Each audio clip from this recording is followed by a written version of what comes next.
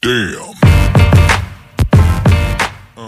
Barchangizga assalomu alaykum, hurmatli YouTube tomoshabinlar. Sizlar bilan YouTube'da yana bir bor ko'rishtirganimdan juda ham xursandman. Sizlar bilan men Javohir va sizlar Texnobom kanalidasiz. Do'stlar, hech birimizga sir emas, zamon o'zgargan sari, rivojlangan sari yangicha turdagi, yangicha nomdagi telefonlar ishlab chiqarishni boshlayapti. Bu yangi telefonlar Samsung va Apple'ga hech qanaqa konkurentlik qila olmaydi, chunki bularning o'zini bozori va o'zini klientlariga ega kompaniyalar.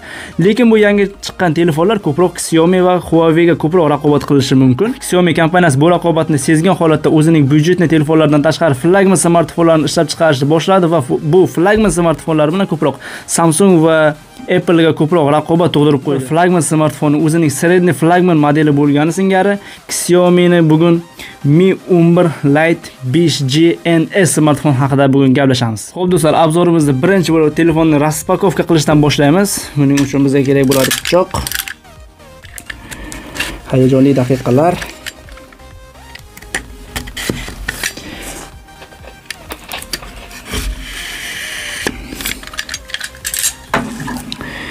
Telefonni ochishimiz bilan birgalikda qani ko'ryapsizlar o'zi tushyapti. Demak bu flagman smartfonlarga xos hislar desa ham bo'ladi. Ya'ni ochgan vaqtda o'zi tushadi ko'proq.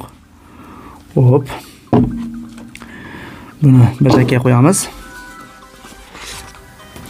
Bu yerda korobkada biz ko'rib turibmiz o'zini обычный chexoli silikonoviy Вот. Прозрачный чехол. O'zini har bir Xiaomi smartfonda bo'ladi. Ya'ni bu yerda ko'rib turibmiz. Flagman sinfiga mansub bo'lganligi uchun bu yerda 3.5 mm li naushnik uchun joy yo'q va uni o'rniga bizga переходник joylashtirib qo'yilgan Type-C ga 3.5 mm lik naushnikka. Переходник va bu yerda ko'rib turibmiz dokumentatsiyasi va все bo'ldi. Boshqa narsa yo'q. Va bu yerda. Oh. Ko'rib juda ham chiroyli. Yengil ingichka telefon haqida keyin gaplashamiz do'stlar. Avval komplektlar haqida ko'rsatadigan bo'lsak va bu yerda ko'rib turibmiz bahaybat. 33 vatlik ko'rib turibmiz zaryadnik va ichki rangi оранжевый bu degani быстро zaryadka beradi va boshqacha type C'lardan ko'ra, boshqacha USB-lardan ko'ra ko'proq zaryad o'tkazadi. Ya'ni amper kuchliroq bo'ladi bunaqani. Va ko'rib turibmiz bu yerda kabellarini ham ichi oranjeviy rangda, даже type C'larni ham ichi oranjeviy rangda. Bunaqa narsa ko'proq amper kuchli bo'lsa telefonlarni o'shanda ichki rangini o'zgartiradi. Bu ham bir fakt. Va korobkalarni yig'ishtirib qo'ygan holatda telefon haqida gaplashadigan bo'lsak do'stlar, telefon juda ham ingichka qo'lga yaxshi o'rnashadi chiroylikgina va oq rangda. Oq marmarniy svet deyiladi bu. Oq matoviy emas glyansiviy ham emas yaltiramaydi va o juda ham chiroyli.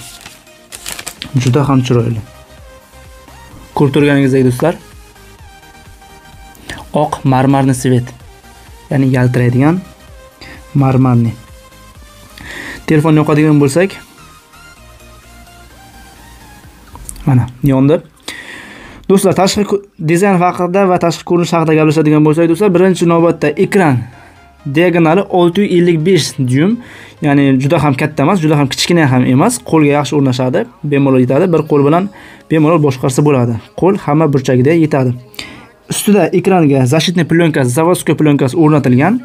Отпечатка пальц ekran blokirovka tugmasida ya'ni yonni qismida lekin telefon juda ham ingichka.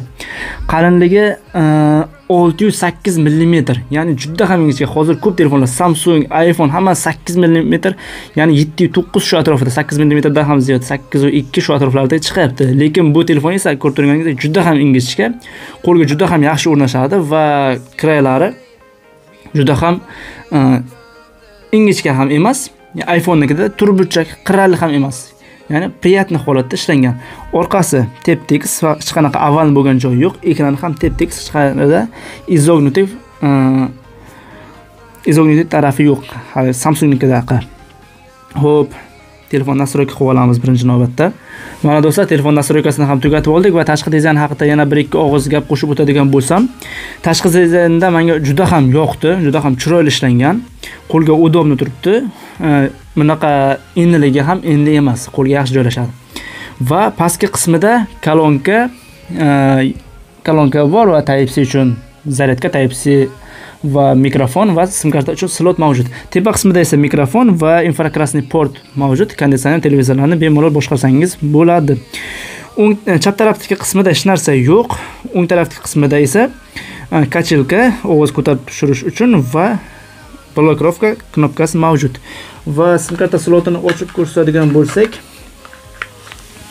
qanaqa shaklda ekan?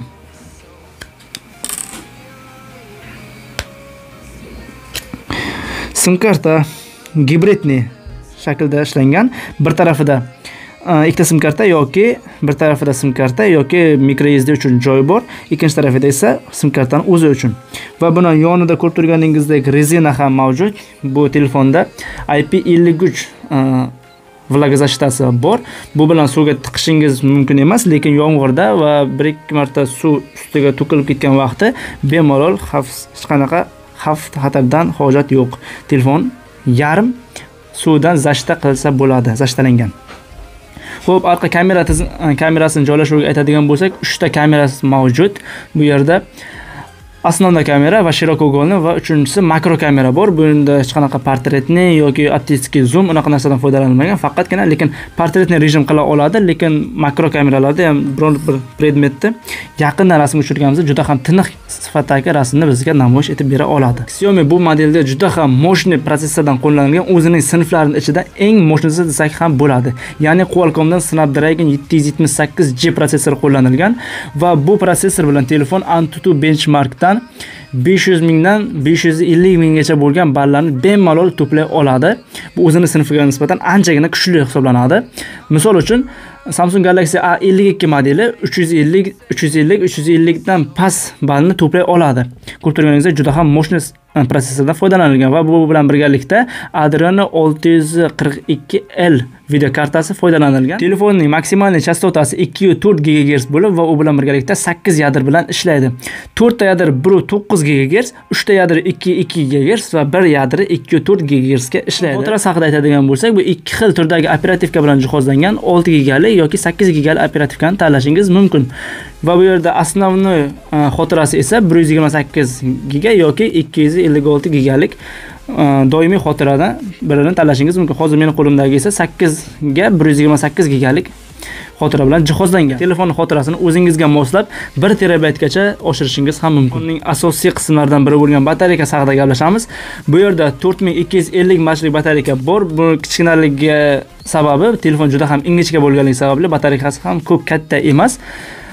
Hozir bu yerda flagman telefonni ko'rib turganligimiz uchun bu yerda e, ko'proq byudjetniy telefon sinfdagi telefonlarga ko'proq sifrlarni ko'rasiz. Ya'ni 5000 6000 shunday ko'rishingiz mumkin. Lekin u yerda sifatdan ko'ra ko'proq raqam bor. Bu yerda esa raqamdan ko'ra ko'proq sifat bor. Lekin mana shu 2000 4250 mashlik batareyka ham bunda bemalol bir kun yoki bir yarim kun ishlatishingizga yetadi. Va shuni esdan chiqarmaslik kerakki Xiaomi kompaniyasi o'zining flagman va средний flagman smartfonlariga power pitaniyani qo'shishni unutmagan va bu yerda ko'rib turganimizdek 33 vatlik e, blok pitaniyasi ham bor. Buni отдельно sotib olishga hojat yo'q va bu bilan telefonni 30 minutga 60 foizgacha zaryadlash mumkin va umumiy 100 foizlik zaryadni 1 soat yoki 1 soat 5 minut atrofida bemalol zaryadlay olasiz. Xiaomi kompaniyasi bu tipdagi smartfonlarning batareyasi haqida ham ma'lumot berib o'tgan va bu yerda yozilish bo'yicha internetda Instagram yoki biror bir sotsetida o'zingiz vaqtingizni o'tkazadigan bo'lsangiz 9 soat 40 minutgacha o'zini batareyasini ushlab tura oladi. Agar kun davomida video ko'raman desangiz 15 soat 23 minutgacha o'zini batareykasini quvvatlay quvvatlamasdan ishlatsangiz ham bo'ladi.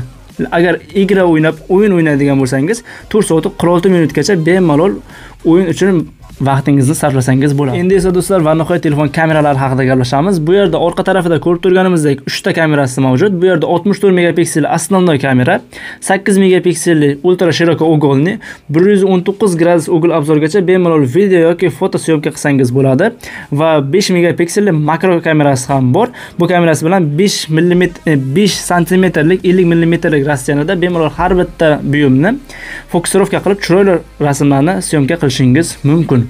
Va oldida esa ko'rib turganimizdek chap e, chap burchagida tepa chap burchagida frontalniy kamerasi bor selfi kamerasi. Bu esa 20 megapikselli kamera bo'lib e, rasm tushirganda ikki karatli yaqinlashtirish zoom mavjud va videoda esa unaqa funksiyasi yo'q. Faqatgina rasmda o'zingizni ikki karatli yaqinlashtirishingiz mumkin. Xiaomi'ning bu modeldagi 64 megapikselli основной kamerasi bilan pol professionalniy video syomka qilishingiz mumkin. Bu yerda optik stabilizatsiya yo'q, lekin shunga yarasha elektronniy stabilizatsiyadan foydalanilgan va bunda 8K ni ham ga ham syomka qila olmaysiz va bunda 4K da 30 kadr sekund va Full HD da esa 60 kadr sekundgacha bemalol e, professional videolarni syomka qilishingiz mumkin. Stabilizatsiyasi типа flagman tepa flagman smartfonlar bilan tenglasha olmasa ham, lekin o'zining tepadagi smartfonlar bilan bemalol tenglashib ulardan ustun ham kela oladi. Esa telefon o'zining заводской чехолlarini ham taqib ko'ramiz. Qani qanaqa joylashadi. Qanaqa sashta qiladi, ham ko'ramiz hozir. Xo'p, taqqanimizdan so'ng orqa tarafidagi kamerasi stolga tegmaydi, ya'ni o'zining zashtasi bor kraylarida. Keyin old tarafini ham qo'yganimizda bu yerda ekran tegmayapti. Bu yerda yonlarda yo'llarda zashtalar bor mana.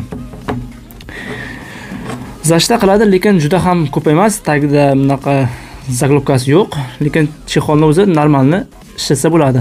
Ya'ni arzon o'zini заводской chexol. Endi esa do'stlar, telefon ekrani haqida gapiradigan bo'lsak, bu yerda Xiaomi Samsungning AMOLED displeydan foydalanilgan AMOLED 90 Hzlik displey. Ekran juda ham качество, sifatli. Ekrani bu yerda ko'rib turganimizdek AMOLED IPS dan anchagina kuchli sanaladi va OLEDdan nisbatan ham kuchli sanaladi AMOLED displey. Lekin bu yerda 120 Hz emas, 90 Hz ekrandan foydalanilgan. Xiaomi'da lekin bunga ham o'ziga yarasha sabablar mavjud. Bu yerda batareyka hajmi kam bo'lganligi uchun bu yerda 90 Hz. Agar batareykasi 5000 ga 5000 dan ziyod bo'layotgan bo'lsa, 120 Hz dan foydalansa, unda sal bo'lsa ham batareykasi ko'proq sarflansa ham avtonomligi uzoqroq bo'lardi. Bu 90 gerslik e, ekran juda ham qulay deb o'ylayman. Ya'ni 120 Hz nisbatan 120 Hz juda ham plavni bo'lishi mumkin lekin bu yerda 90 gersga ham yomon emas. 60 60 gersdan ko'ra ancha plavni lekin batareykasini sarflashi bu yerda anchagina kam bo'ladi 120 Hz nisbatan lekin foydalanish davomiyligi ancha uzoq bo'ladi. Ya'ni Xiaomi Mi 11 Lite 5G NS smartfon sotib olganingizda nimalarga ega bo'lasiz? Shu tariqasida bitta ma'lumot aytib o'tib ketay. Agar bu telefonni olganingizda nomini yodlash uchun anchagina vaqt sarflab qo'yasiz bu aniq juda ham uzun nomi.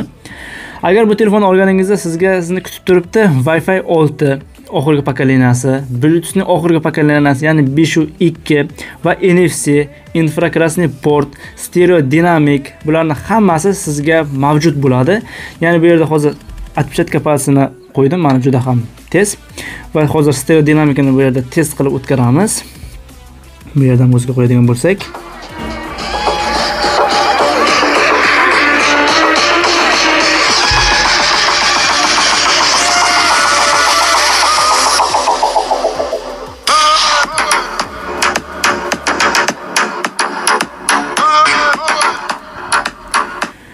Bu yerda ko'rib turibsiz stereo dinamikasi bor. Pastda o'zini основной dinamika va tepada gaplashgan vaqtdagi chiqaradigan ovoz joyidan основной yana bir stereo ovoz chiqara oladi va bu tepadagisi ham anchagina yuqori. Pastga nisbatan pastroq bo'lishi mumkin lekin video yoki qo'shiq ko'rgan e, eshitganingizda yoki o'yin o'ynagan vaqtingizda sizga ajoyib bir atmosferani baxsh eta oladi. Endi esa do'stlar obzorni finalniy qismi ya'ni telefon narxi haqida gapiramiz do'stlar. Telefonni yigirma ming rubldan yigirma uch ming rublgacha bemalol xarid qilishingiz mumkin. Yigirma ming atroflariga bir yuz yigirma sakkiz gigabaytga sakkiz gigabaytli operativkasini olishingiz mumkin ya'ni olti gigabayt operativkasi ham bor. U sal arzonroq где то ming rubl yo besh yuz rubl разница qilishi mumkin. Va bu yerda ikki yuz ellik olti gigabaytga sakkiz gigabaytli operativkasini olaman desangiz bu yigirma uch ming rubl yoki undan sal ziyodroq bo'lishi ham mumkin.